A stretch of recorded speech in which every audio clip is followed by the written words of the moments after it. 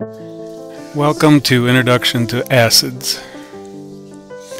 There are five things you need to know about acids. They taste sour, they change the color of an acid base indicator, some react with active metals and release hydrogen gas, they react with bases to produce salts and water, and they conduct electricity. Lemons are sour because they have acid in them. Here you can see the color chart as acids change color. Here is a short video showing you how hydrogen gas is released with metals. The bubbles you see are the hydrogen gas being released.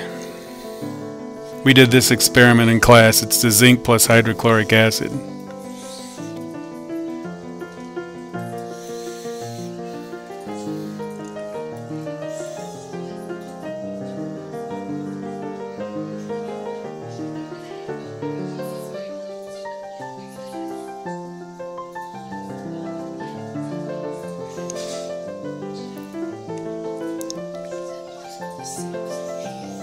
In this next video you will see how acids react with bases to produce salts and water.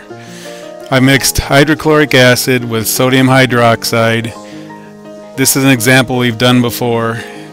It's a very exothermic reaction and the result is sodium chloride and water.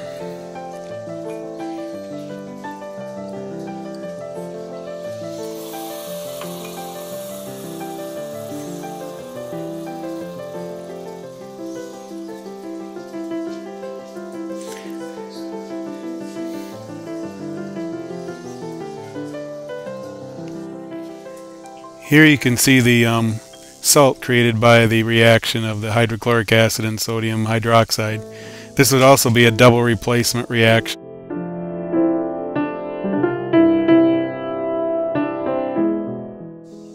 Car batteries contain sulfuric acid and thus conduct electricity. Finally, binary acids are acids that contain only two different elements, hydrogen and one other.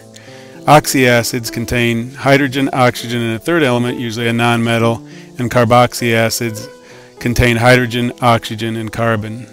We'll do an activity on the LiveBinder with this.